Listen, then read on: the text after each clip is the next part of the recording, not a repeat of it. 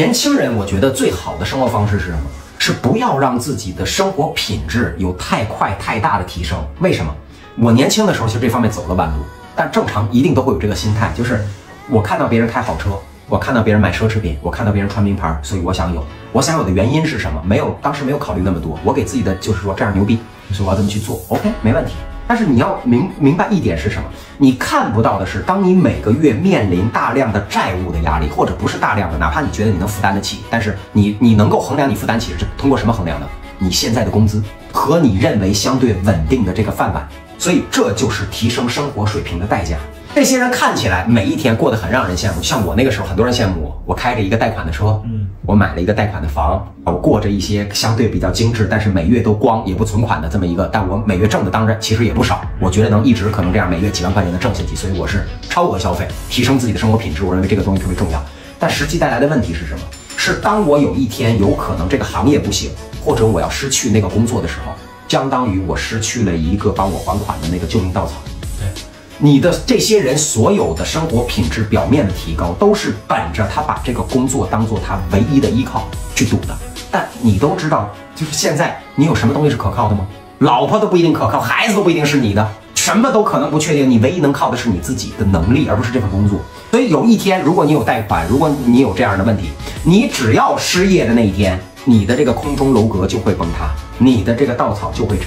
你就会面临极大的压力、恐惧，然后沉沦，导致五年、十年你都要为你这个决定一直付出代价。就比如说你在我这儿工作，你可能在这个过程当中，如果你去赌自己创业，有可能我不知道有没有，我觉得应该人生中会有，你可能会有更好的选择。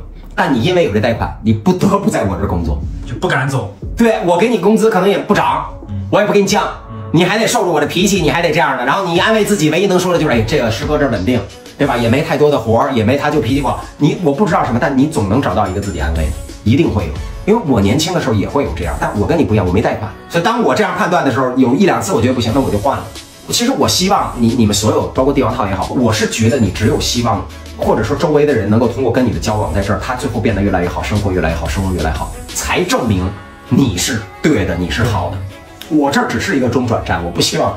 一辈子养着什么或什么东西，但我特别能了解，就是你作为年轻人，你一旦有贷款，帝王套里面也有人，就是家里有负债，嗯，要还款或什么，他马上就不一样，就他限制住了，他不敢。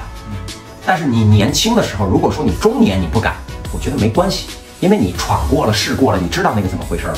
你在一个最应该冒险、最应该去闯、最应该去试的年纪，你因为这个东西，你被拴在那儿，而且你那套房在家你也不住，在老家，你人在北京。你被一个钢筋水泥拴住了你的机会，拴住了你的人生，拴住了你的梦想。我不会这么说完，你明天辞职了吧？听我劝，吃饱饭。真的，哎，我跟你讲，这些专家的话你可以不听，但我作为一个真的，我觉得我真的年轻过，我到现在依然年轻。我觉得。我跟年轻人绝对不存在代沟，因为你不管人类怎么进步，时代怎么变，你知道吗？人类最后要的东西是一样的。因为我年轻过，我是一个极度自由的人，我是特别怕被限制的人，所以我特别清楚，我那时候要的一定也是现在年轻人要的。但是我们那个时候没有那么多地儿能让你背上负债。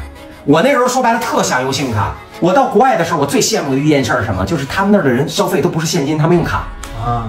但他们不用信用卡，因为他们太小。但我那时候其实我妈就有能力，其实她当时给了我一张。他的副卡，第一次我就给刷爆了，然后就一顿暴揍。我妈揍我虽然不疼或什么的，但我特庆幸的，后来就给我停了。我当时还挺生气的。但你知道，我在一个等于我之前在国内那时候没有小孩根本办不了信用卡。我到了新加坡，因为我妈对我觉得有愧疚，有什么东西给了我一个她的副卡，能刷，反正额度不高，一千五百新币吧，大概一万块钱人民币。我一第一个月就觉得我操，这钱都是我的，所以我特懂那心理。我觉得这特别的害人。我还特庆幸说中国没有信用卡这个东西，要不然以我的性格，而且那时候我那边还没有什么朋友。我中国如果朋友多，我更得要面了，更刷了。请客吃饭，周围我不能对吧？丢不起这人啊！你就为了面子，一步一步的让自己，真的是一下一下的把自己，就是连着那个衬衫和灵魂一起典当给你懂的那个当铺，就第八号当铺。